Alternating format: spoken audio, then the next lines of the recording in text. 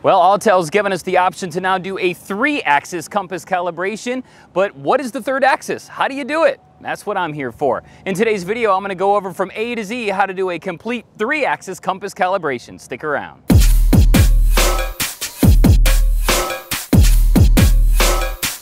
Hey, what's going on? It's Hobart. Welcome back to my channel. And just recently, we were given an update to our app and to our software on our Evo 2 and Evo 2 Pros that enabled a three-axis compass calibration. Up until now, you've only had to do two axes, but along with the new IMU calibration that they've enabled for us to do, there is now a third axis when you're doing a compass calibration.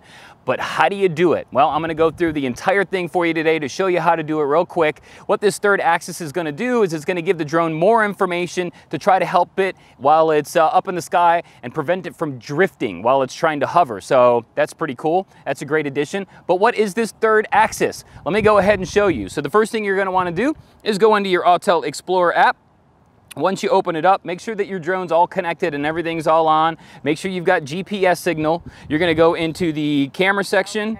You're gonna click the settings in the upper right-hand corner, and then you're gonna see compass calibration when you scroll down. Click on compass calibration. So you're gonna see starting calibration. Now, there's a couple of different ways that you can do this. Some people like to put their remote down and take their drone and spin it around in their hands and try to look at the uh, remote to try to see when you're supposed to switch positions.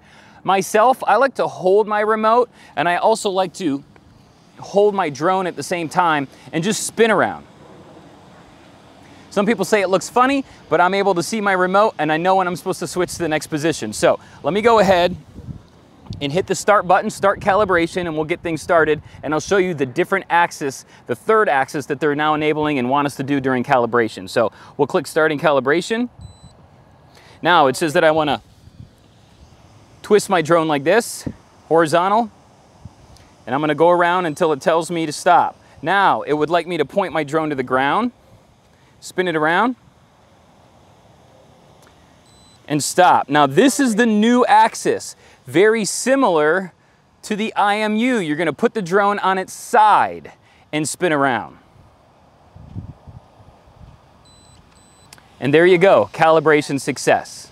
So that's how you do the new three axis compass calibration on the Autel Evo and the Evo 2 Pro.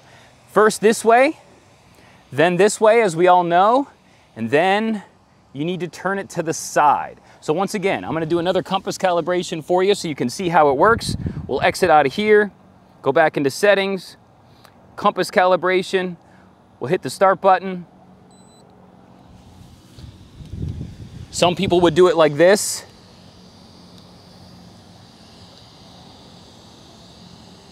Then you can put it like this.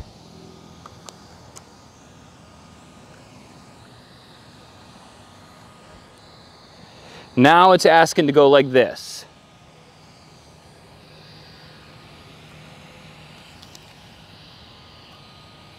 To me, that's much harder than doing it the other way, but it's up to you. So those are the two different ways.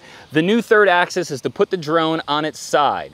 Same with the IMU calibration. You're gonna be doing the IMU calibration. I've got a video on that. You can go and check that one out. The new axis that everybody was getting confused on was when you turn it to the side like this, all right? So that's basically how you do the new three axis compass calibration on the Autel Evo and the Autel Evo 2 Pro.